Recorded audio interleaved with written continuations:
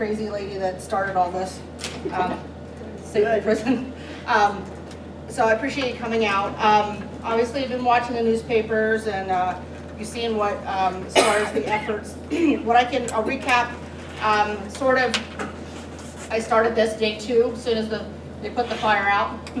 Um, I knew that that building was gonna be in jeopardy, um, just because of talks from commissioners for a period of time, the past couple years, uh, making comments about tearing that down and selling the stone, okay? So I knew as soon as that fire was out that we needed to get our, get the community's voices heard because that could potentially happen. And we saw, two days later, on the front page of the Daily Item, we saw none other than Mr. Clausi with his own equipment outside. Was that a staged behavior? Was that just attention seeking? I don't know. But thank goodness for code office because they stopped him and the fire marshal and said, you know, get off the land or we'll have you arrested. So, um, so I'm really not sure what that stunt was. Was he really gonna knock the turret down? I don't know.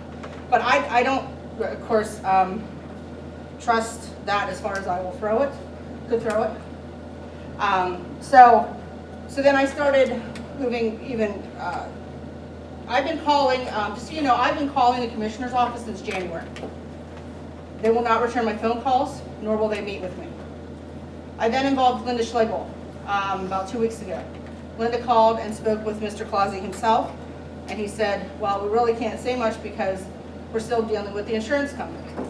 Well, now, I would like to think the community is pretty intelligent by the fact that when you have a several, oh, a $30 million policy, and we know out, that came out in the newspapers that 2.5 million was what the insurance company came up with. So that pretty much tells me that if that's all the damage that the fire company, insurance company thinks that happened within those walls, um, there's not, you know, yes, there's damage, but I think it's stuff that could be managed. Is it gonna take money? Yes, it is. I know that. Everyone keeps saying to me, where are you getting the money for that? I don't know. I'm not Mrs. Rockefeller, but that's why we need to continue with these meetings, and that's why I asked Erin to come in from PA Preservation, Preservation PA, either way, either way, that's, um, to come up with, yeah, as long as I get Preservation and PA in there, we're all right. Um, to come up tonight and talk to us about what steps could we take, you know, because there's a lot of legal, there's a lot of legalities in it. Um, uh, So back to Mr. Clausi. So Linda got him to commit to meet with me. So I called him, called a secretary, we set up a date, I called to confirm. And then I got, um, well, Mr. Clausi said Linda said to cancel the meeting because we don't know what's going on with the insurance company. So then I called and talked with Linda. I called Linda's office, Linda called me back.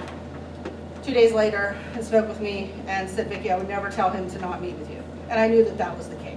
So Mr. Clausi has already lied to me. Two things you do to me is lie to me or steal from me and you're done. He was done in my book a long time ago. And believe me, this tonight's not about bashing Mr. Clausi, but I just want you to understand that I'm trying to take the steps that need to be taken to get some answers. Because I have been, um, I have gotten private messages from people telling me I'm not doing enough. Um, I can only do so much. I can't, you know, go in there, you know, I can't make the man sit down with me. Um, so that's where I'm at.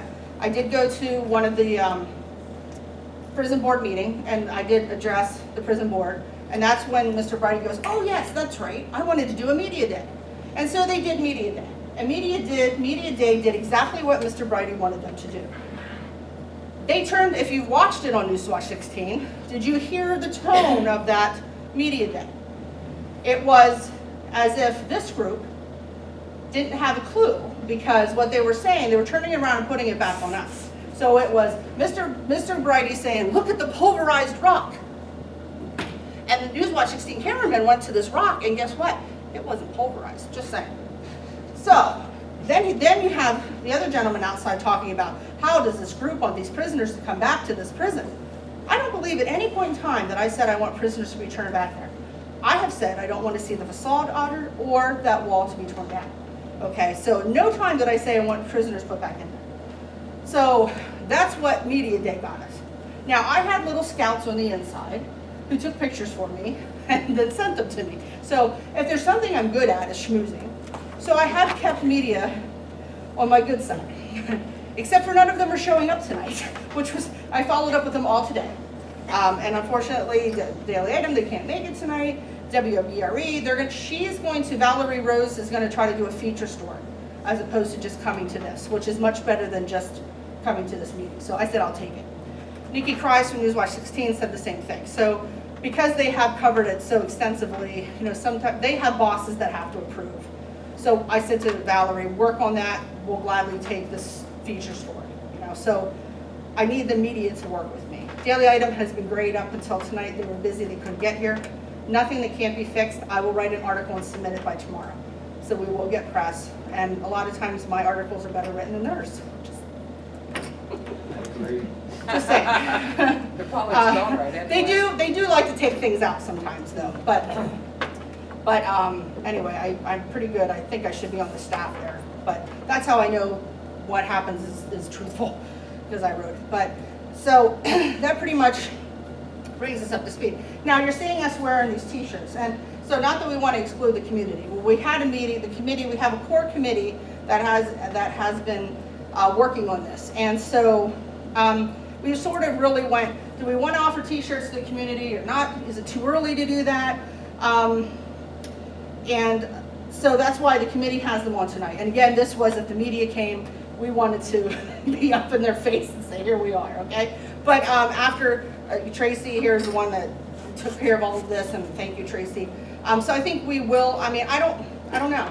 I think if we have more people wearing them, can't help to see us come, wear them to Riverfest, wear them to Pine Otters, wear them to National Night Out, wear them wherever you go.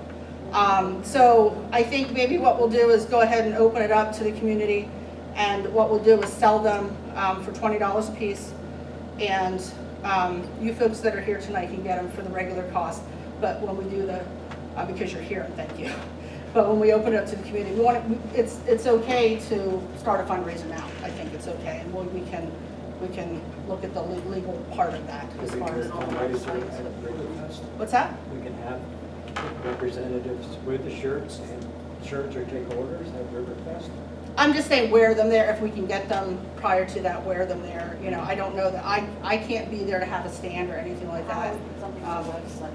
Yeah, we do have a website that's up and running, so it's www dot, oh, it's on the back of my shirt. This- Say ncpprison.com. Yes, there you go. If I put it on my butt, it'll really stick out. So You'll be able to read it really well then. Yes, ma'am. A lot of older people are more interested in saving the prison, and I think instead of the internet or the, the computer, you should have them out there for us to pick up at places like the Riverfest. Okay. So we don't have to deal with the computer, because there are a lot of people that don't. So what do you think about possibly holding, um, I don't, so, uh, not, not to be rude or anything, but, uh, high rises. I mean, I know that happens to be, like, they can't get out to meetings and, you know, things like, Anywhere, everywhere. everywhere. We wouldn't have orders from the libraries. We'd have to ask that because it's a whole political, there's, Yeah. we can try, but, you know, Welcome to everything- fighting the what political sounds great, yeah. It's gonna be hard to know how many shirts to take to Riverfest and not, you know, totally run out of. Right, right. So we can get it up on the website, we'll put it out on Facebook, things like that. We can definitely, um, when I write it, I can put a blurb in the, the newspaper article that we're taking orders for t-shirts. We'll, we'll, we'll get it out there, yeah. I And, would uh, be willing to bet if you took them to Riverfest, you'd sell. I just, I. Yeah. I talked to older people and we're just, we're the ones that are interested in this prison, most of us. uh, Right. Um, and I think the other thing, we do have an online petition, which I wasn't able to check today. We were like, I did not get a chance to. we were like, as of like yesterday, I think we were thirteen less signatures than two hundred. So, so probably what we should do also is have a paper petition and then do that and have people taking that to work, you know, wherever. And, and the more, more signatures that we can slap in front of them, the better. So, okay, well, I'm gonna digress because I really want to have Erin have the floor and your questions and, and she's knowledgeable one here on where do we go from here? What do we do and, and all of that. But, um, before we leave, um, new faces, if I could get your contact information, um, and that way I can contact you, and so we can maybe talk a little more about where I should be with all of that, okay? And, um, so if we could send a piece of paper back. Erin, you ready? Um, Ready to get? okay. Since I clearly have no clue where Erin's from, I'll let her tell you. I'll just introduce myself, sure. And I see that you have things set up for a presentation. I didn't prepare a formal presentation. I think it's so probably just set up. We'll just talk tonight, and then if you want me to come back and, you know, show pictures and make things more official, we can do that. So I'm Erin Hammerstedt. I work for Preservation Pennsylvania, which is a statewide historic preservation nonprofit. Um, We're based in Harrisburg, our office is in Harrisburg. I actually live in State College, but a month from now, I'll be living in Pillow, just down the road. So, yeah. Yeah, if I can work out all the deals. Oh, Um, I'm at that point in buying real estate where everything's going wrong, but hopefully I'll be closing in two weeks and moving. In other words, you're at the point where, when did I start to do this? No, I really want this. It's gonna happen. I just now have, this is like the test of like, how much do you want it? How hard are you willing to work? you know? So afterwards, if anyone wants to talk to me about licensed electricians or plumbers or contractors, come see me. Um, Get them to show up as a trip. yeah, yeah. I figure that this, we're totally getting off track, but generally, when it, we're working with old buildings, you have to call four to get one to come. That's my, my experience. Can I give you my business card? sure, afterwards, And I'm on absolutely, yeah. Angie's list too. Okay, all right. Let's we'll, let's we'll get to that. We'll get to that. But first, let's talk about you before we talk about me. Um, oh, I'll finish my introduction though. So, Preservation Pennsylvania is a, again statewide membership um, organization, um, and we have lots of programs that are sort of every year we do the same thing. We have a conference every year. We have an endangered properties program, which certainly you should consider list, nominating this to our endangered properties program next year. Um, we also have an awards program where we recognize good projects or people who are sort of moving and shaking in preservation. So um, we do, yeah. Some, some of us shake more than others. Yeah. I shake, that's um, so, so that's what we do. But what I do is I am available at no cost to go around the entire state of Pennsylvania and help people with preservation projects or challenges. Um, and so Victoria found me. I'm not sure how, probably online or something. Um, yeah, and asked me to come out and talk with you. So I'm here tonight just to, um, I can lay out some sort of basics of, you know, steps we might want to do from here. But really, I want to answer your questions um, and talk about some of the your your ideas and concerns. Um, so I guess for starters, I fire. I'll just tell you oh, again a little bit about me. Fire is like my nemesis. I for the last ten years lived in Bellefonte, and I don't know if you ever hear about Bellefonte, But Bellefonte loses so many of its historic buildings to fire. And so I've been working on specific task forces and producing publications on how to prevent fires and minimize their damage in historic buildings. So it's really an issue that um, means a lot to me. And so this, the Pennsylvania Historical Museum Commission, which is the state agency on historic preservation, knows that, and so they always send me information. I don't know why. I think they try to depress me. I think they don't like my enthusiasm, so they try to bring me down. But they always send me articles when we have historic buildings around the state with fires, knowing that those are people that might need might need my help. So anyway, I heard about this fire shortly after it happened, and I was really ready for the phone to ring. You know, Uh, we're busy enough that we aren't usually proactive in going out and, and seeking out um, projects. But so I was really glad when I when I heard from Victoria about this. I was glad to hear that there's something going on. Um, I'm not really sure where we want to start in talking about what to do. Um, do you want me to just start by talking about some ideas, or do you want to talk As I understand the situation, the building is closed, everybody's been moved out, it's owned by an authority of the county, like a subgroup of the county. They don't want it anymore, they don't want to use it anymore, um, they don't know what they're gonna do with it. And that's where we stand, that they've sort of temporarily stabilized the building. Um, Is that sort of the, the, the situation in a That's what it is. nutshell? Okay.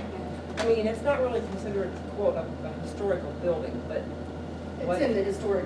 area? It is a So historic what- building. I mean, are we, are we, you know, are we pursuing the right avenue by looking to this entity to help support our cause, to guide us in this cause? Absolutely. So a little bit about historic designation. I didn't check this, I'm just going with what you told me on this, and I can always double check it.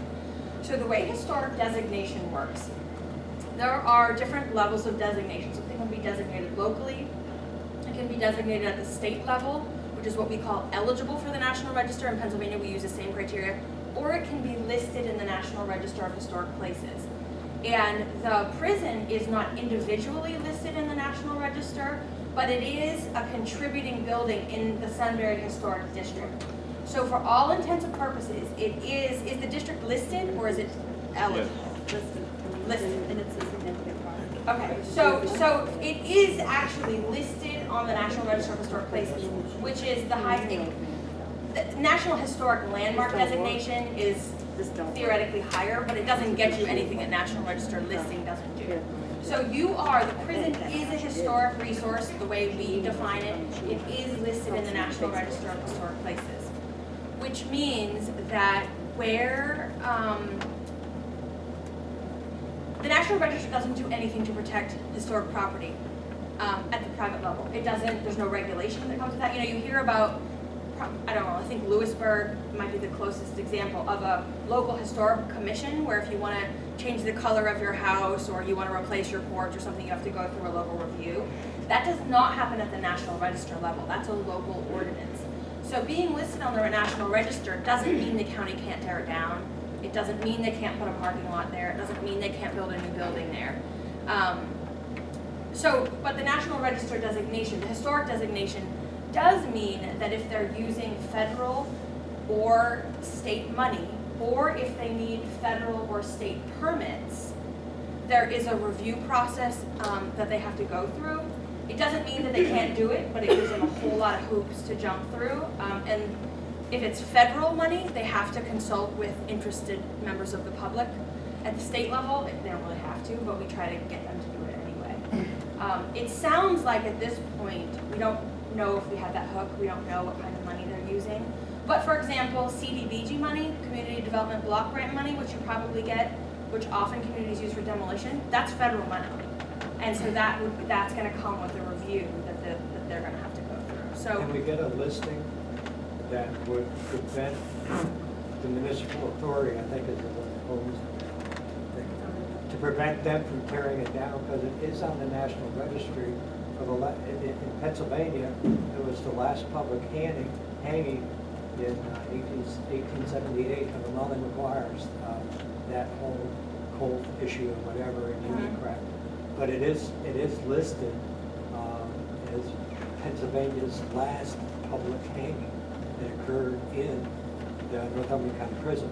Yeah. So it, it- can we use the history of it, early history of it, to um, uh, get a designation which would give us the availability of block grants and so forth, and see if the municipal authority would turn it over to us for a dollar or whatever value, okay, uh, for historical renovation.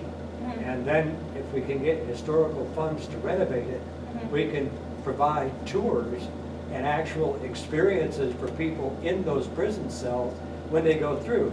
You've got fifteen minutes in the prison cell, we lock you in, that's what, what you- what it's like. Most people freak out.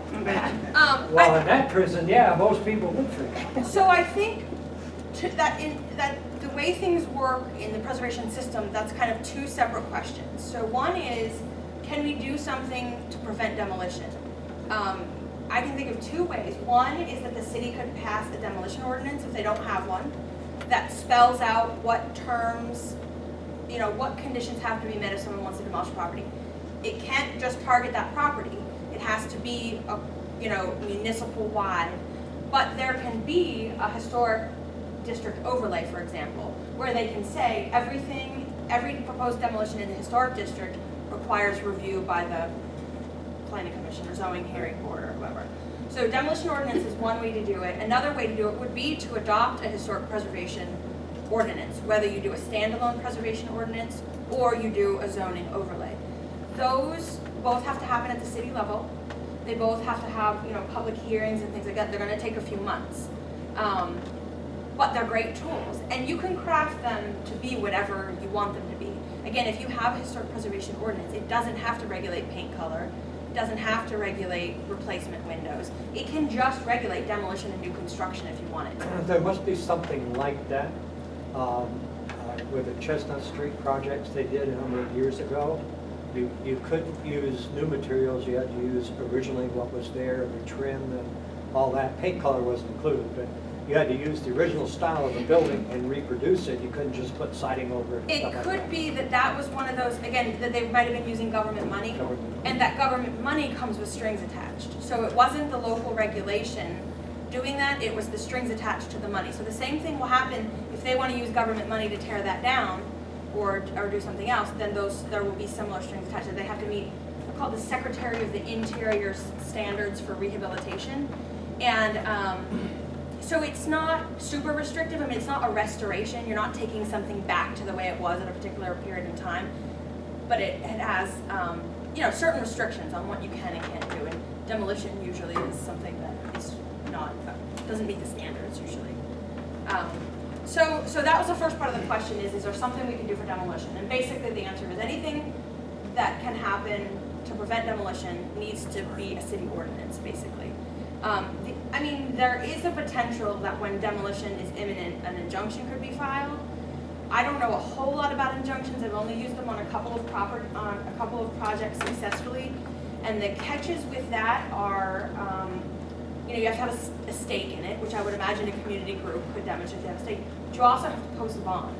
Um, and so usually there's sort of a mad dash fundraising effort to post a bond for an injunction. Usually it's sort of a nominal amount, but it can, I mean, like ten to fifty thousand dollars. Like it's not five hundred dollars. It's, it's a significant amount that they basically, I think, want to make sure you have some skin in the game, and if this gets into a legal thing, they know that the funds are there to take care of things. So an injunction is, I like to think of it as sort of a last ditch.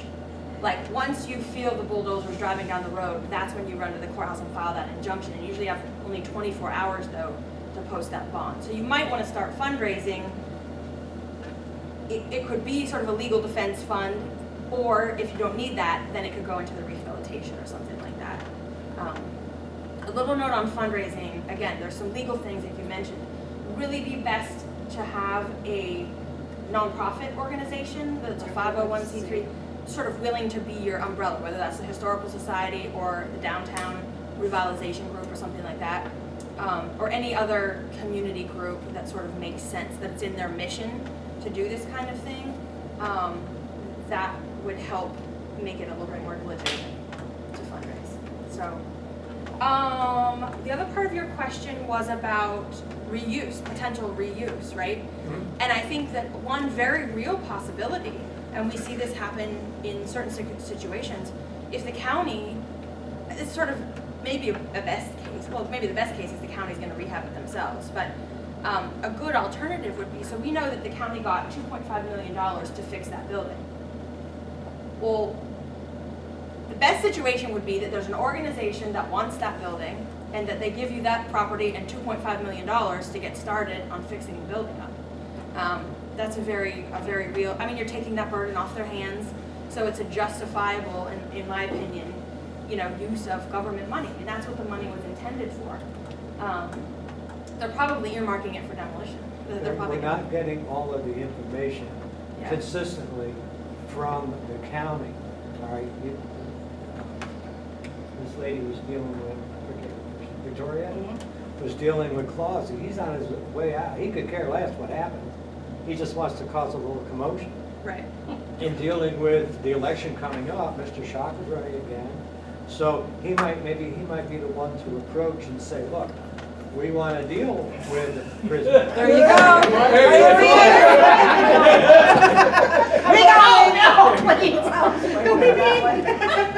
Mr. So I have been, Yeah. and I have been, Well, now Victoria and I have, feel had- I- I've been Yes. getting information, as, as you might imagine, sometimes the information doesn't flow that easily to me down there. right? Gail can attest to that. Yes, I know. Most But have been organizations trying to have put businesses that doesn't flow as easily. But the, um, Most families, it doesn't even. No, So it- It's not it's, it's a fact of life. exclusive to, yeah, it's not exclusive. if you don't have all of the total truth about what's available funds-wise, then people can't go to the powers that be and say, look, that prison is Yeah. repairable. Yeah, That prison could be usable. However, we have new rules about prison buildings that this old prison will not comply with. It's, it's likely, I don't know this for sure, it's likely that that is outdated as a prison and that sort of, I don't know if, if the prison system works the way the sort of general building codes do, but sort of like once the occupancy has been abandoned, Yes? it's hard to get it back sometimes. right I'm sort of back up to guessing that as long as they were using it, it was probably okay. Yes. But now that they've stopped using it, it's probably gonna be really hard to get that to be compliant. It's called grandfather. They don't have it anymore. Usually you have a year, and at this point, they're not gonna get it fixed up and get people back in in a year. So I'm guessing that that use is, pro- it's probably valid to say that that's no longer, I can't say for sure, but it probably is a valid argument if they say it can't be used as a prison anymore. That's, But- that's but quite likely. We don't get the facts and figures we need. We need to, things like, stupid things like the square footage for each inmate, you know, Mhm. versus today versus what they had before, of course, mm-hmm. is not satisfactory. Mm-hmm. And because they were still using it, they, they didn't have to update everything. Mm-hmm. And so I've heard about do- redoing the prison for 20 years since Right. I've been in the community. So what, what goes on is that it can be reused for something. It can also be reused just basically as a holding area, which is what they were using it for, for, before court and stuff. Uh, And you also could develop, if you, if you can get a hold of it without it being very costly, you could develop tours in there. You could, it's, re- it's repairable. Let's If The building is repairable. Yeah, That's let's talk about, about money and where, where money could come from and what the problems with that are gonna be. Did you have a question first before we move on? I thought I saw a hand, no? Um, we will, so money, so that's gonna be the big thing. So there's two point five million dollars in insurance money that was supposed to go to fix that building up. Um, that's out there somewhere, um, and I don't know if that can be designated for something else or not, I'm not sure. Um, a lot of people want grants. They say, oh, well, it's a historic building, we'll get a grant. Well, Pennsylvania currently has one grant for historic preservation, um, exclusively for historic preservation. And that can be up to twenty-five thousand dollars for planning and up to fifty thousand dollars for construction. So, and it can only be used by municipalities or units of government and nonprofits. So it's not available to private property owners, and it's not very much money. No. Um, so the reality is grants aren't gonna do it. Um, grants can help, grants can help close a gap, if we have, you know, if we have a plan that's close, but not quite there, grants can sort of, sort of help with that. But the idea that there's grant money, now that being said, that's preservation money. There are other grant programs that can be used. Um, community development block grant money, if you have an allocation and your application sort of talks about what you wanna use it for, and that's a appropriate area and that kind of thing. If the right term, that can be used for community development. Your, I don't know what your Main Street, Elm Street, Keystone Community, whatever your downtown revitalization program is these days. I don't know what your boundary of that is, but there are several programs from the Department of Community and Economic Development that can sort of be channeled towards building reuse. One of them is the anchor building program, which I, I believe you already have anchor building money in town, do you know? Does anybody know?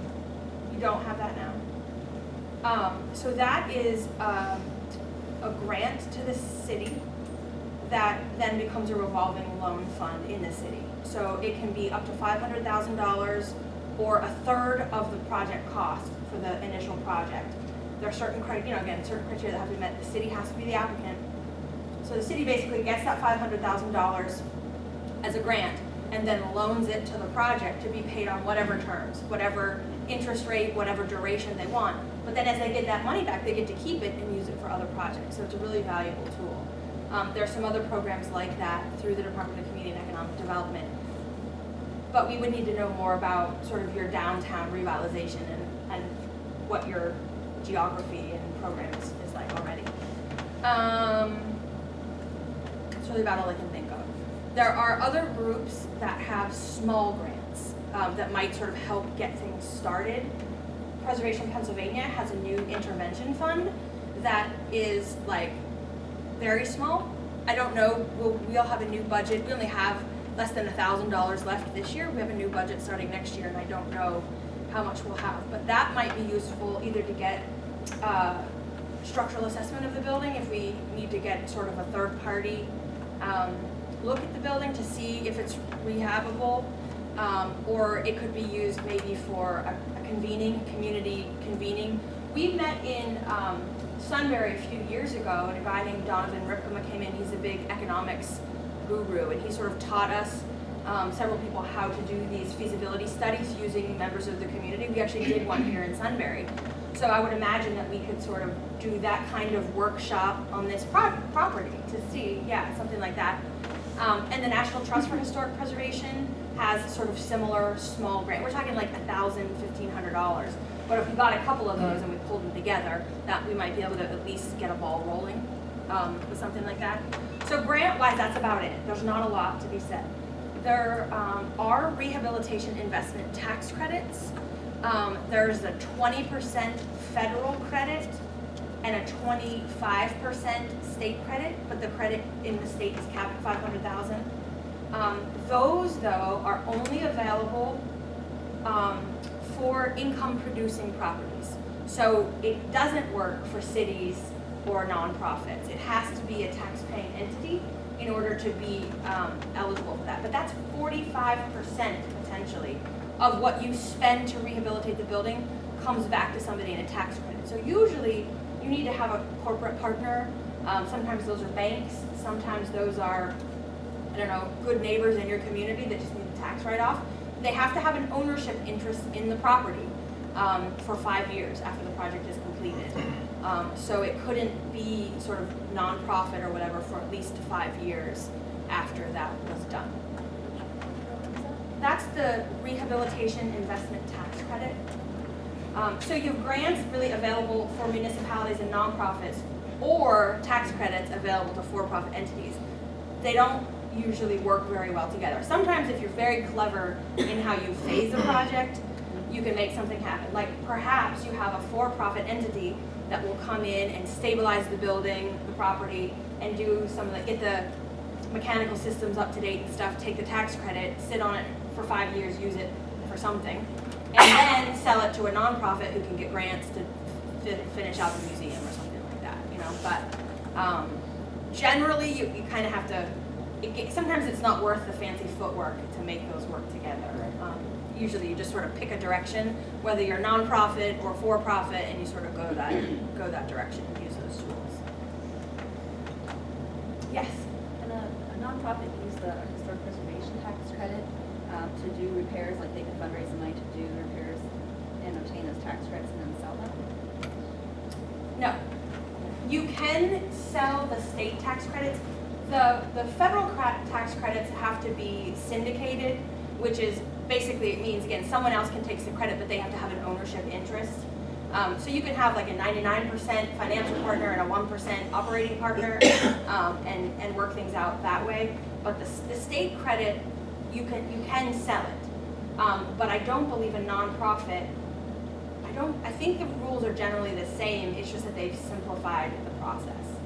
Um, So you do have to be a taxable entity to, to take that. Now, that doesn't mean that a for-profit owner can't lease it to a nonprofit to operate it, but it has to be income producing. So, you know, you can't be a dollar a year rent. Um, That's, that's, that's not gonna fly as far as making the case that we're income. So, so what you're, what you're saying is that if we're, if we're going to move forward on this, we're gonna have to be involved in some incident of ownership.